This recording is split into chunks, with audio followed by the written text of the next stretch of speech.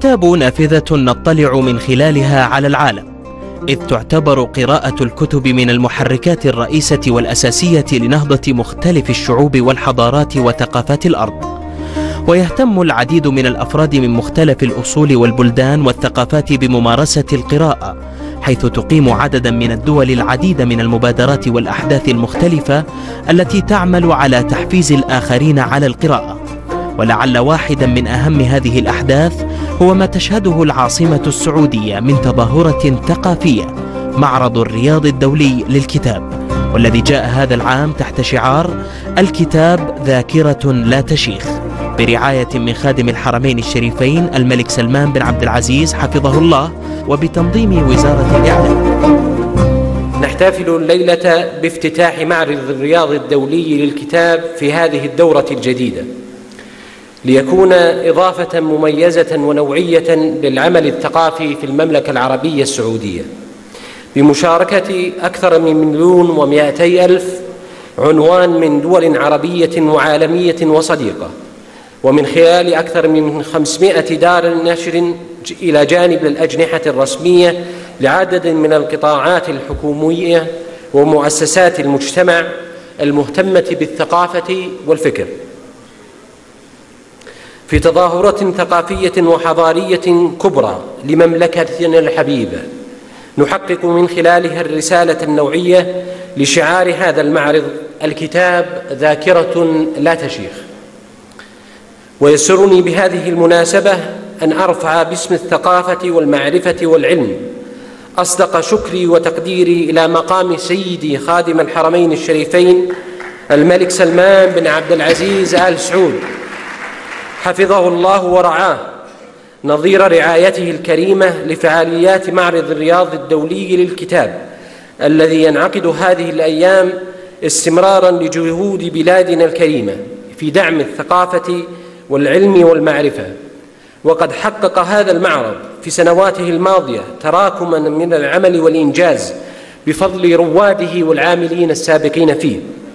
قامت من خلاله وزارة الثقافة والإعلام بدعمه برامجه وأطره التنظيمية. ويأتي المعرض في, هذه الدورة بحلة قشيبة وأطر تنظيمية. اجتهدت الوزارة في ذلك لترفع من مستوى الأداء وقد عملت في جميع جميع قطاعاتها ولجانها على إطلاق حزمة من الآليات العم من آليات العمل النوعيه من آليات العمل النوعية لدعم خدمة الثقافة والمثقفين.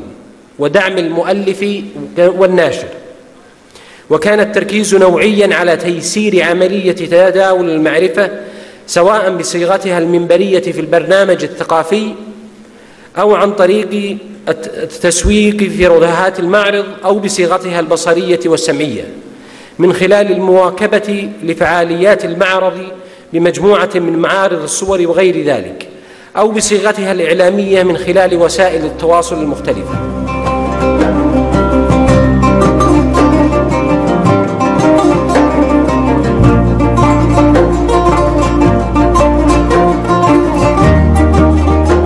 أحييكم في معرض الرياض الدولي للكتاب 2016 هذه الاحتفالية السنوية التي تشرف في عامها العاشر منذ انتقالها لوزارة الثقافة والإعلام بالرعاية الملكية الكريمة من مقام سيدي خادم الحرمين الشريفين الملك سلمان بن عبد العزيز يحفظه الله.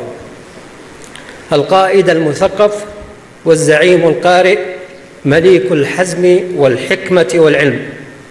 هذه المناسبة المضيئة بنور العلم والمعرفة المناسبة التي يترقبها المثقفون والأدباء والباحثون والناشرون وطلاب العلم والمعرفة وصناع النشر وجميع فئات المجتمع للتواصل مع الكتاب وعوالمه المختلفة والالتقاء بالكتاب والمؤلفين ومتابعة الفعاليات من محاضرات وندوات وورش عمل ومعارض وفعاليات للأسرة والطفل وحفلات توقيع الكتاب.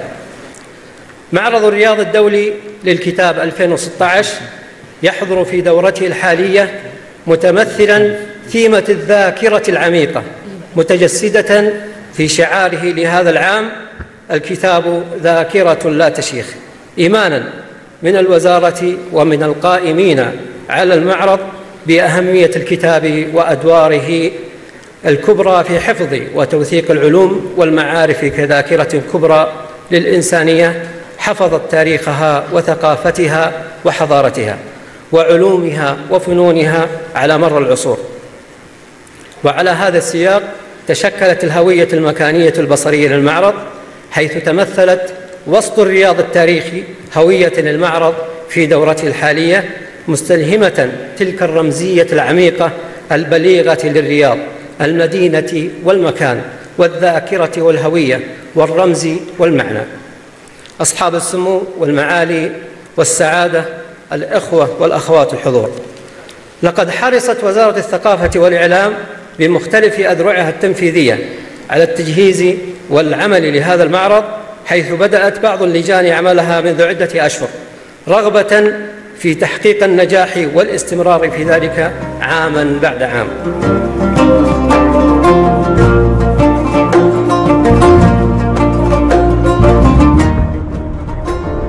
أنا بقص لكم الحين قصة معرض الكتاب وبعلمكم من اللي صح ومن اللي خطأ. بس أنتم يا عيالي وأنتم تتكلمون عن معرض الكتاب رجعتوني بالذكريات إلى الكتاب ومعرض الكتاب.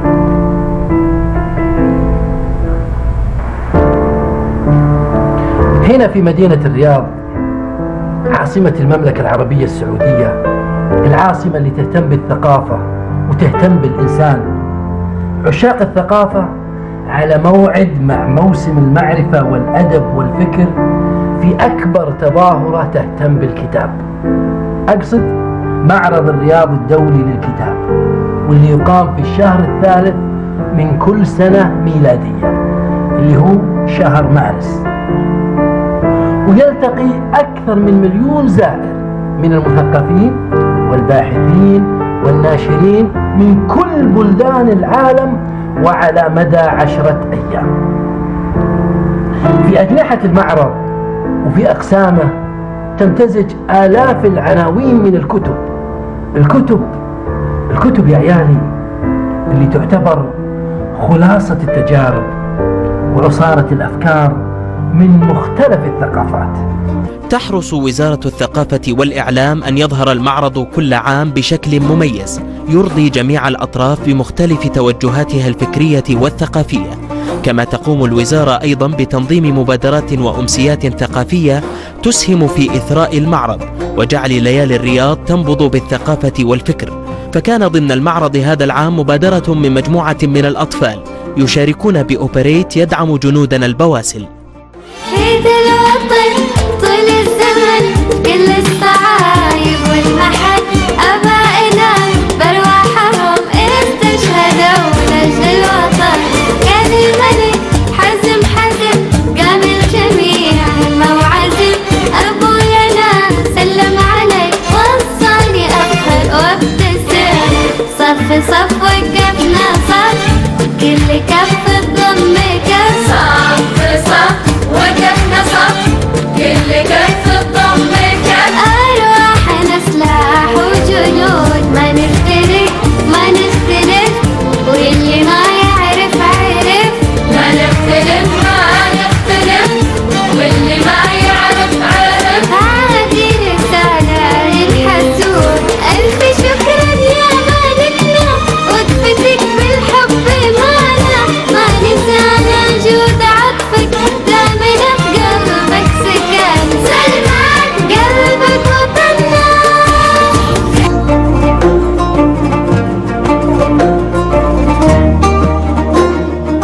معرض الرياض الدولي للكتاب مناسبة يترقبها المثقفون والأدباء والباحثون والناشرون وطلاب العلم والمعرفة وصناع النشر وجميع فئات المجتمع للتواصل مع الكتاب وعوالمه المختلفة والاتصال بالكتاب والمؤلفين من كل أنحاء العالم. كان ضيف شرف معرض الكتاب لهذا العام دولة اليونان التي افتتحت المعرض بفيلم ترويجي عن تاريخ اليونان.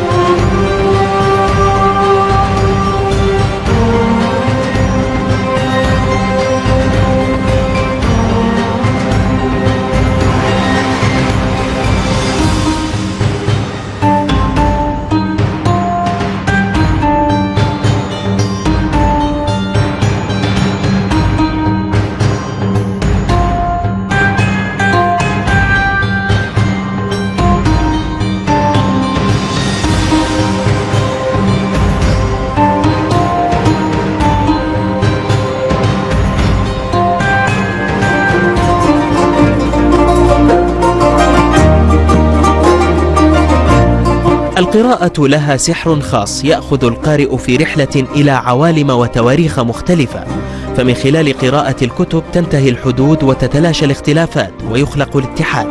ولما تقدمه القراءة والعلم من تطور ذهني وعقلي أصبحت سياسة المملكة وبتوجيهات خادم الحرمين الشريفين الملك سلمان بن عبد العزيز وسمو ولي العهد وسمو ولي ولي العهد يحفظهم الله هي دعم العلم والتطور الذهني. من خلال إقامة الاحتفاليات والفعاليات كمعرض الكتاب.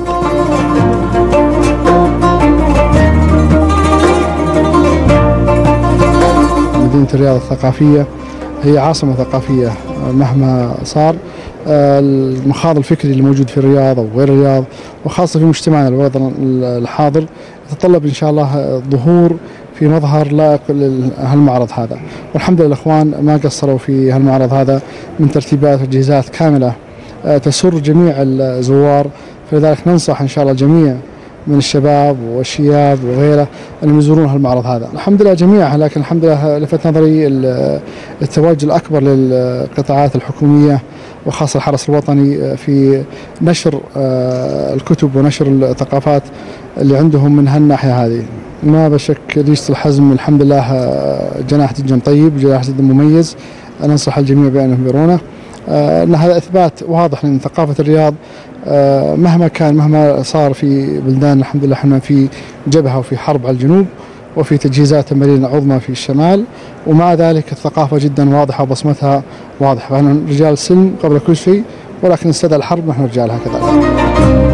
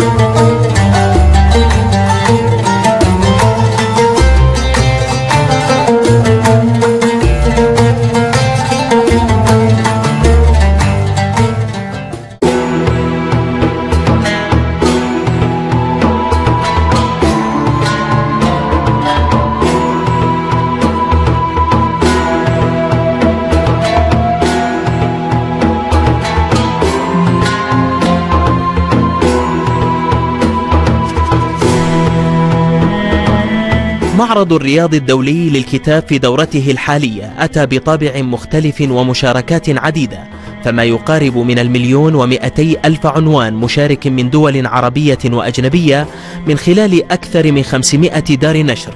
إلى جانب الأجنحة الرسمية لعدد من القطاعات الحكومية ومؤسسات المجتمع المهتمة بالثقافة والكتاب في تظاهرة ثقافية وحضارية كبرى لمملكتنا الحبيبة تتحقق من خلالها الرسالة النوعية لشعار هذا المعرض.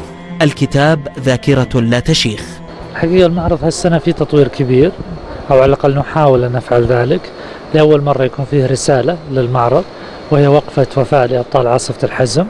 وهذا عبر آه، معرض ريشة الحزم ومعرض عدسة الحزم وأيضا عبر عدد من العروض المرئية اللي يشوفها الجمهور كل يوم بالإضافة إلى فقرة كانت في حفل افتتاح وأفلام آه، تعرض على الشاشات. أضف لذلك أنه لأول مرة يكون فيه هوية للمعرض وهوية المعرض في هذه السنة هي وسط الرياض التاريخي. هذا واضح في البوابات في الممرات في أيضا الأسماء للمعالم الرياض.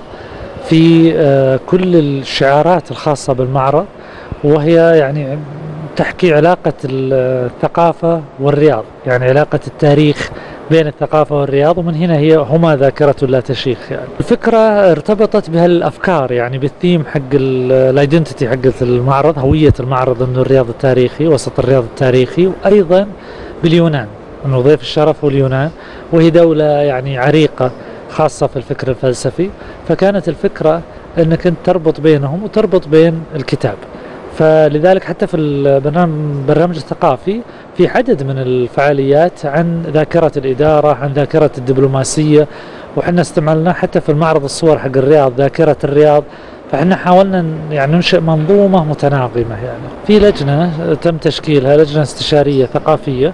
هذه اللجنة هي مختصة بتقديم اقتراحات. هذه الاقتراحات تقدم تدرس من جانب إدارة المعرض ويوافق عليها والحقيقة إحنا حاولنا نوافق على كل شيء تقريبا يعني لأن أردنا أن البرنامج يمثل اللجنة الثقافية وإن شاء الله أن هذا هو اللي موجود وهو برنامج متنوع وفي نفس الوقت في دعم للفنون وللإبداع. يعني لأول مرة مثلا بدل ما يكرم الأدباء ال- الأدب المكتوب خلينا نقول يكرم رواد المسرح وهذا اعتراف بال- بالمسرح من أعلى قيمة.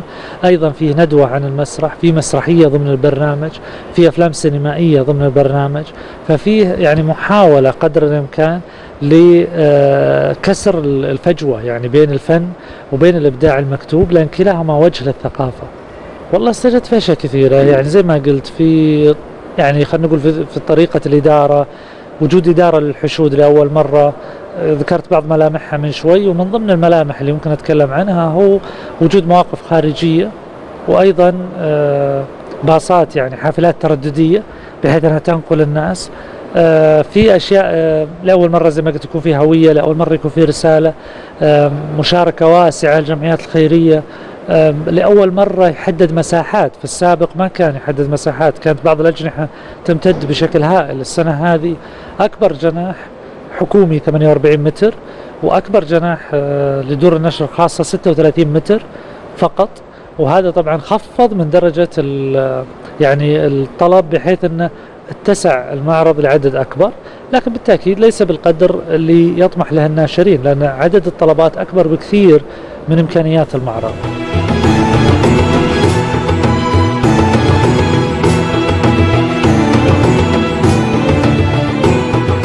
من أبرز المشاركين في معرض الرياض الدولي للكتاب في النسخة الحالية جمعيات توعوية وخيرية وجهات حكومية. كان من ضمنها مشاركة جمعية الفنون ومؤسسة العنود الخيرية ومركز الملك فيصل للبحوث والدراسات الإسلامية. الحقيقة مشاركتنا في معرض الكتاب آه، هذا العام آه، ككل مشاركاتنا كل سنة لإطلاق إصدارات مبادرة المؤلف الشاب وهي مبادرة يطلقها المركز سنويا. تعنى بمؤلفات آه، المؤلفين الشباب. آه، المركز يقوم آه، بطباعتها واستخراج الفسوح قبل ذلك لها وتصميمها آه، ومساعدتهم بكل الخدمات اللوجستية حتى خروجها للقارئ ومن ثم تسويقها لصالح المؤلف مجانا. الحقيقة هذه المشاركة الرابعة. آه، منذ البداية المركز حرص أنه يتواجد في معرض الكتاب في هذه التظاهر الثقافية آه، حتى يتمكن من الوصول لأكبر شريحة من الشباب. آه، وبالتالي أيضا ال- وصول مبادرة المؤلف الشاب آه، لأكبر شريحة. اللي استجد أنه آه، في آه، في مساء هذا اليوم على هامش ال- المعرض آه، كرمنا الفائزين بمباد- ال- بمبادرة المؤلف الشاب. آه، بالإضافة إلى أنه السنة هذه أطلقنا آه، إحدى مبادرات المؤلف الشاب اللي هي مبادرة ورشة الكتابة. وهو كت- كتاب مأخوذ من ثلاث لغات عربي إنجليزي آه، فرنسي. الهدف منه تطوير قدرات المؤلفين الشباب ووضع اللبنات الأولى لمؤل- لمؤلفاتهم إذا رغبوا في التأليف مستقبلاً. المركز الملك فيصل للبحوث والدراسات الإسلامية يشارك في معرض رياض الرياض الدولي لهذا العام لعرض ما لديه من من كتب وإصدارات وأعمال علمية طبعا هي أعمال علمية التي تتجاوز عددها ال 280 عمل علمي آه، منوعة بين تحقيق التراث والإصدارات العامة وكتب التاريخ والأدب. أيضا آه، يحوي جناح مركز الملك فيصل للبحوث والدراسات الإسلامية على نسخة اللي هي نسخة آه، كليلة ودمنة اللي هي المخطوطة الخاصة لم- للملك فيصل وهذه النسخة تعتبر النسخة الثانية بعد النسخة اللي موجودة في باريس نعم. وأيضا يعرض جناح المركز مراحل ترميم المخطوطات وإعادتها. السنة هذه آه، صدر عندنا مجلة الفيصل بشكلها الجديد بإضافة كتاب جدد. أيضا مضاف ملحق معها كتاب لثلاثين شاعر سعودي طبعا. وأنا أتمنى يعني من الزوار المعرض أنهم يشوفون مجلة الفيصل بشكلها الجديد طبعا وتحويه من من كتاب مميزين حقيقة في الساحة الثقافية. آه، مؤسسة الأميرة العنود بنت عبد العزيز بن مساعد بن جلوي آل سعود الخيرية. هي مؤسسة خيرية خاصة. آه، مشاركتها في المؤسسة التعريف مشاركتها في معرض الكتاب للتعريف بأنشطة المؤسسة وبرامجها الرعوية اللي ترعاها على مدار العام. وصية الأميرة العنود آه، الوصية مثل ما أنت عارف كاتبتها وعمرها 37 سنة الآن الوصية لها 50 سنة. آه، خم- من بنود الوصية أن أنشأت المؤسسة عليها من تعليق القرب الماء آه، آه، الطعام على الفقراء والمساكين آه، بناء المساجد. فالوصية بانية على المؤسسة. تشارك جمعية الثقافة والفنون في هذا العام آه، وهذا أول تعاون تقريبا في معرض الكتاب آه، 2016 وهو آه، إضافة الفن التشكيلي والتصوير الضوئي إلى آه، فعاليات آه، معرض الكتاب بحيث آه، الحضور يتمتعون بمشاهدة العمل الفني والصورة الفوتوغرافية بطريقة مميزة وخاصة أن هذه السنة أختير موضوع الحزم وعاصفة الحزم فبالشراكة مع وزارة الثقافة والإعلام ووكالة الوزارة للشؤون الثقافية تم الاختيار آه، ريشة الحزم وعدسة الحزم. وتواصلنا مع الفنانين وأعلنا ووضعنا آه، موقع إلكتروني آه، بحيث يسهل على المشاركين الدخول والتسجيل ورفع أعمالهم وبالتالي تكوين لجنة بعد ذلك لاختيار هذه العام شارك أكثر من آه، 250 فنان تقريبا وهاوي. في مجالين طبعا.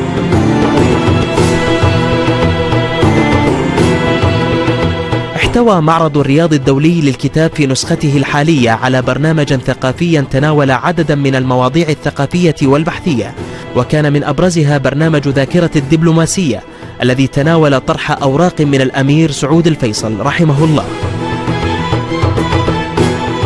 آه، بداية أود أن أشكر معالي وزير الإعلام والثقافة دكتور آه، عادل الطريفي على دعوته المشاركة في مثل هذا اللقاء الهام والفعاليات الثقافية الكبيرة التي تقام ضمن إقامة المعرض الرياض الدولي للكتاب. ومن ضمن هذه الفعاليات هي ندوة أو محاضرة عن الأمير سعود الفيصل رحمه الله وذاكرة دبلوماسية وحياته التي أفناها في خدمة دينه ووطنه ومليكه وشعبه. آه، بطبيعة الحال كان الحديث يتركز عن دور سموه رحمه الله في السياسة الخارجية للمملكة العربية السعودية. ومواقفه من الأحداث والتطورات التي عاشتها المنطقة خصوصا وأنه عايش كثير من الأحداث والتطورات والأزمات والكوارث. فكان وزيرا للخارج وزيرا للدولة الخارج وزيرا للدولة ثم وزير الخارجية لمدة ما يقارب من أربعين عاما. كان لي حقيقة شرف العمل تحت إشرافه وتوجيهاته وتوصياته لمدة ما يقارب من ثلاثين عاما. وهذا بدون شك مدة ليست بالقصيرة. استفدت منها الكثير في عملي وفي محيط اهتماماتي وتخصصي ومهامي. بطبيعة الحال الأمير سعود الفيصل رحمه الله يعتبر مدرسة مدرسة كبيرة. رجل ملم وذو ذكاء وإلمام واسع وثقافة واسعة وإدراك بمستجدات الأحداث وتطوراتها. وله, وله رؤية هامة جدا وهي كيف أن نحقق طموحات وتطلعات أبناء وطننا العربي والإسلامي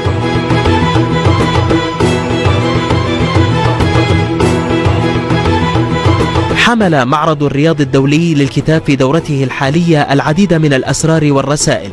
تبدأ من أرضية المعرض وحتى سقفه الممتد بالثقافة والمعرفة حيث شاهد الزوار الرياضة التي أحبوها في ماضيها الجميل. في صورة تبنتها إدارة المعرض في جعل المعرض يحاكي رياض العز والأجداد فبين الارتباط بالماضي والتطلع إلى المستقبل جاء تناغم المشاركين في معرض الكتاب من خلال برنامجا خاصا وندوة عن تجارب شبابية يستعرضون تجاربهم في الكتابة والتأليف. والله ما شاء الله المعرض هذه السنة الترتيب غير عن ترتيب السنة اللي راحت. كل شيء منظم كل شيء واضح حتى المنظمين متساعدين ومتساهلين. مرة ما شاء الله. أنا شاركت بندوة مع الأستاذ محمد الزيلعي. آه، كانت آه، بعنوان التجارب الشبابية بين القيمة والاستهلاك الأدب الشباب بين القيمة والاستهلاك. آه، كانت تتكلم عن القيمة بالأدب النخبوي والاستهلاك بين بين الشباب الجديد بالكتابة والأدب الجديد. آه، تجربتي كانت تجربة ناجحة الحمد لله. آه، روايتي وصلت 15 طبعا في أقل من سنة. آه، تتكلم روايتي عن هي رواية اجتماعية درامية تتكلم عن بيئة معينة لم يسلط عليها الضوء. لأن أنا تكلمت كثير عن وصفت كثير البنت اللي موجودة بالرواية فكان أبرز ما فيها هي عيونها. فحاولت أبحث عن عنوان يعني يشد الانتباه بنفس الوقت ملفت وعجبني الاقتباس من الآية القرآنية قاب قوسين أو أدنى في سورة النور.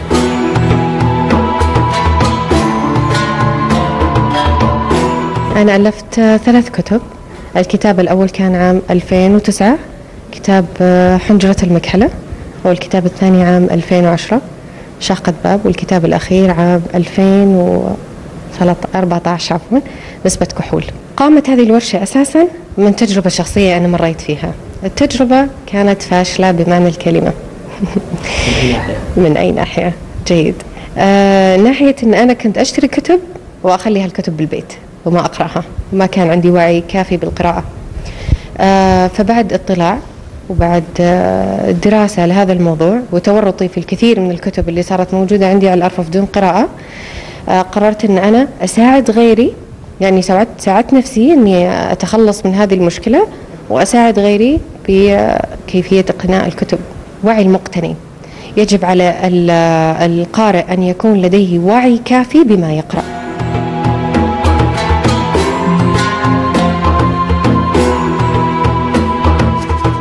استطاع معرض الرياض الدولي للكتاب أن يجتذب مئات الأطفال لارتياده والإقبال عليه في شغف وحب من خلال تقديم العديد من الأنشطة الثقافية المحببة للأطفال في المعرض بمشاركة جمعية رعاية الطفولة. إذ تضمن البرنامج عروضا مسرحية وسينمائية وفنونا شعبية ومعارض للفنون التشكيلية.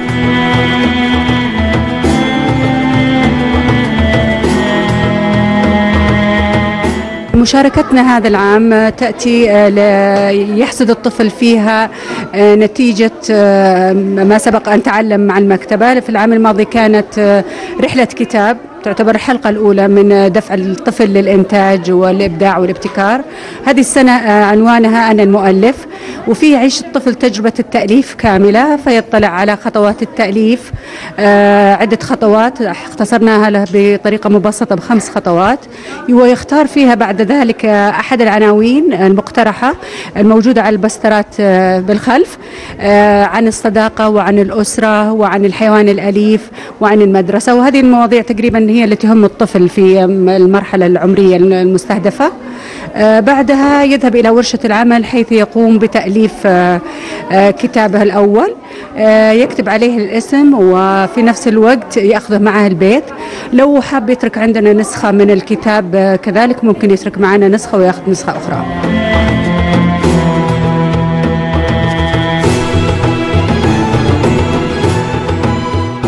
في الواقع جناح الطفل هو عبارة عن منطقة لاستراحة الأطفال أو الأمهات خلال تجول الآباء في المعرض.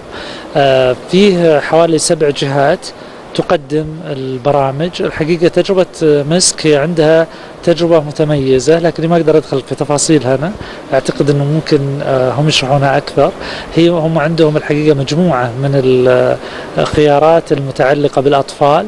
مسك لها مساهمة نوعية في المعرض هذا بالذات. بالإضافة إلى مشاركتها بقاعتين في جناح الطفل.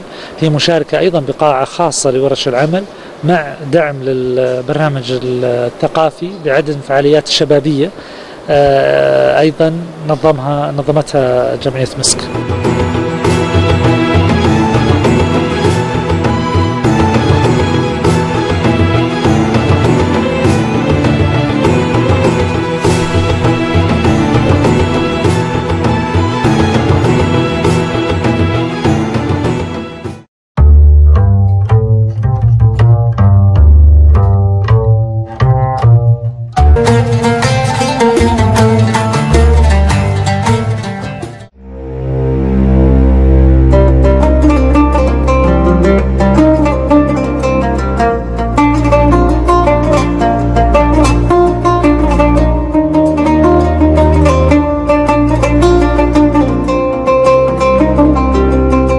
معرض الرياض الدولي للكتاب غدا بوابة حضارية عملاقة لا تستقطب القارئ والزائر فقط وإنما تخلق حالة من الثراء المعرفي وإغراء العديد من الشباب والشابات إلى الدخول في عالم الكتابة والتأليف. بتنا اليوم نقرأ للعديد من الأسماء الشابة التي لم تجد التحفيز للكتابة سوى وجود هذه المعارض والتي يجد المؤلف فيها منصة لعرض نتاجه الثقافي. وبجانب الأسماء الشابة نجد الأسماء الكبيرة في التأليف حاضرة هي الأخرى من المؤلفين السعوديين المخضرمين.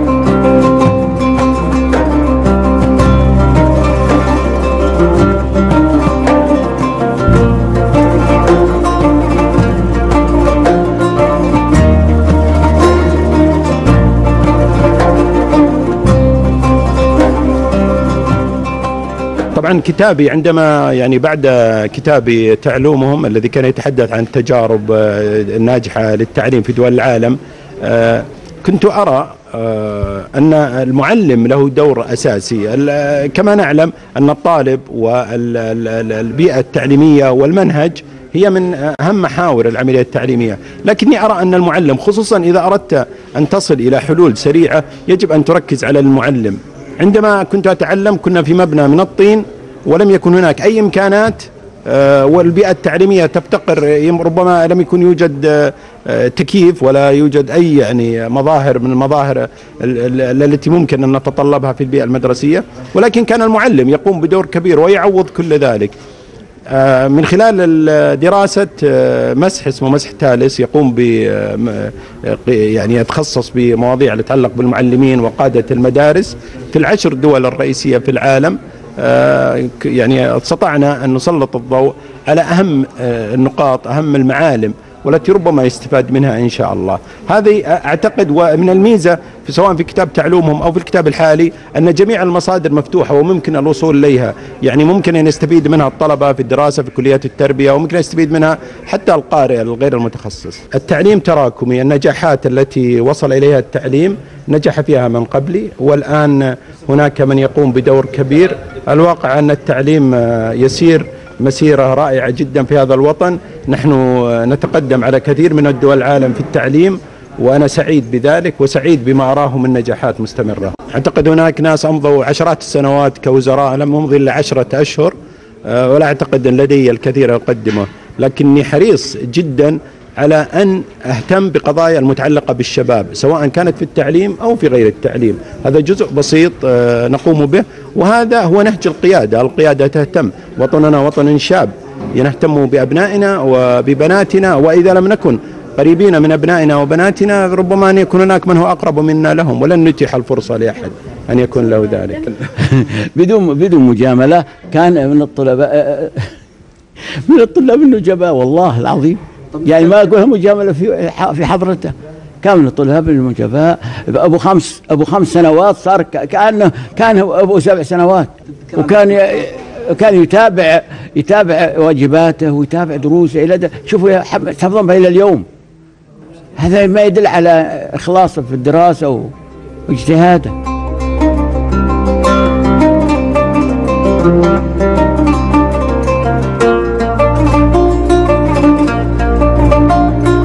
اليوم كان عندي حفل توقيع آه، بتونس بيك آه، صادر عن الدار العربية للعلوم ناشرون وهو كتاب يقع في حوالي آه، 250 صفحة. آه، ص- يعني مجموعة مقالات ونشرت في صفحات الرأي والصحف والمجلات السعودية. والله شوف محمد أنا أنا يعني فكرت في الكتاب وفكرت وأصريت على أنه يصدر في هذا التوقيت لأنه آه، الشباب ما يتخيلوا معاناة بعض آه، آه، رموزهم وبعض كتابهم في فترة من الفترات. يعني بالتسعينات كانت عندنا قضايا تختلف عن قضايانا بالألفية بعد الألفين.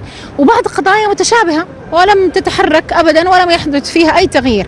فأنا كنت حابة أظهر هذه المفارقات في يعني حتى في الإهداء أنا كاتبة إنه إلى آه، أبناء عام 2000 إلى أبناء هذا الجيل وما جاوره عندي صدر كمان مجموعة قصصية اسمها حلي وزنجبيل وإن شاء الله بتتوقع في معارض أخرى قادمة. لم نوفق في عرضها للأسف في معرض الرياض. إن شاء الله مرة جاية. الكتاب هذا بدي أقول فيه للشباب اللي ولدوا بعد عام 2000 شوفوا الزمن.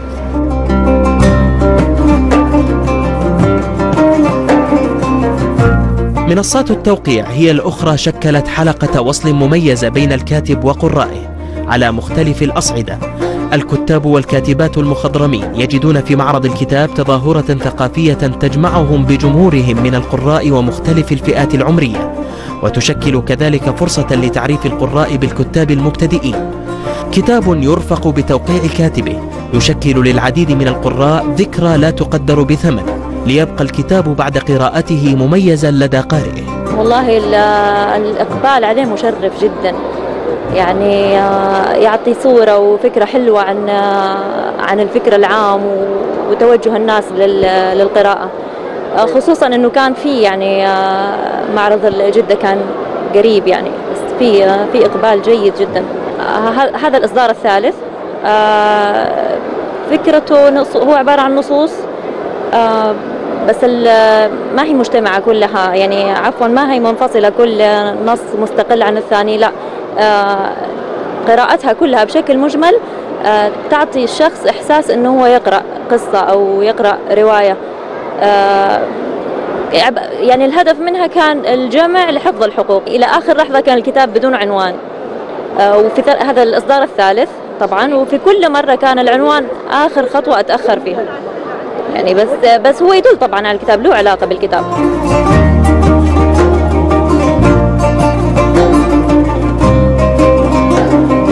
هو آه، الجزء الأول من مجموعة العلاج بالمساج. هو أساسا طبعا يعتمد على خارطة باطن القدمين. أنا ودي الخريطة كانت معي بس ما هي موجودة الآن. يمكن وراي هنا. اللي هي الطب الصيني. في كتابي حرصت أنا أقيم دورات طبعا في خارج المملكة.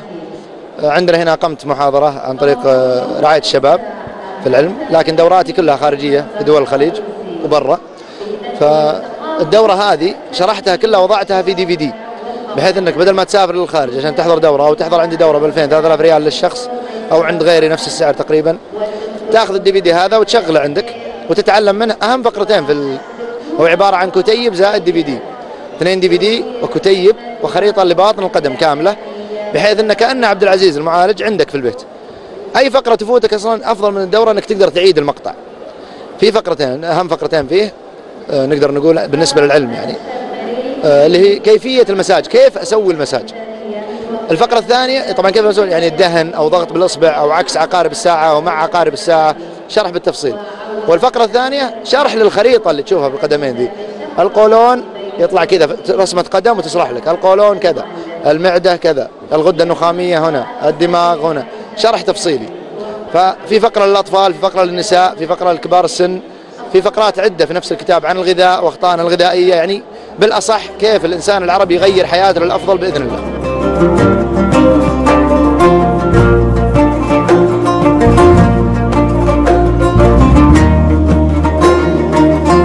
هذه المشاركة الأولى اللي الحمد لله يعني شاركت فيها في المعرض وأول معرض شاركت فيه هو معرض الرياض يعني الحمد لله. الكتاب كانت فكرته هي عدة مقالات سلسلة مقالات رمضانية كنت أكتبها آه، يوميا وأنشرها في البرامج التواصل.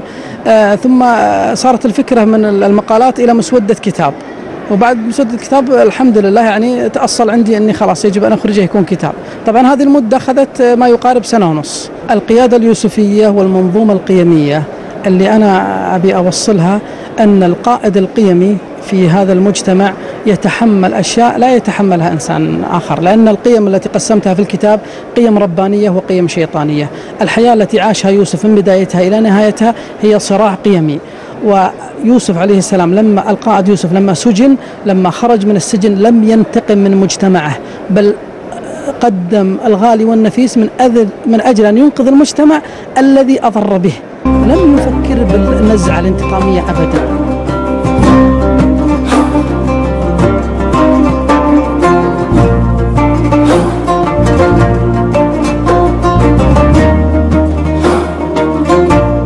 كتابي ورق هو مجموعة قصصية آه، لكنها مترابطة بوحدة بقصة واحدة. هي أول شيء كانت آه، كانت نصوص مفرقة يعني في نصوص وفي قصص. فبالأخير جمعتهم مع بعض.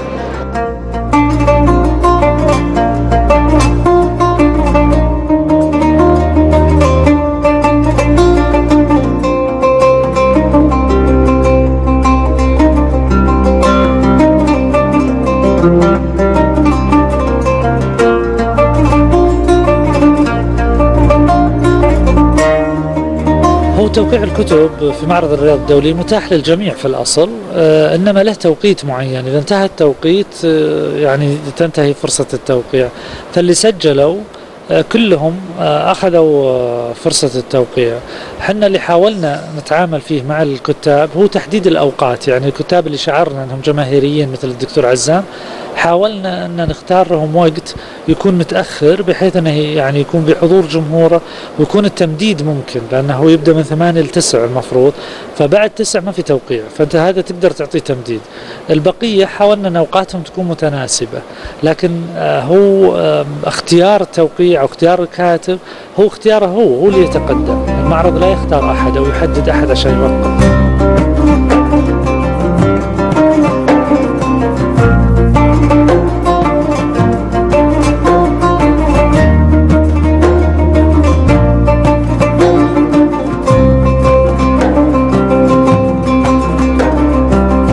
معارض الكتاب مواسم ثقافية وتجارية متكررة ومعرض الرياض الدولي للكتاب الاحتفالية الكبرى التي تدل على الوعي والشغف بالقراءة لدى المجتمع السعودي.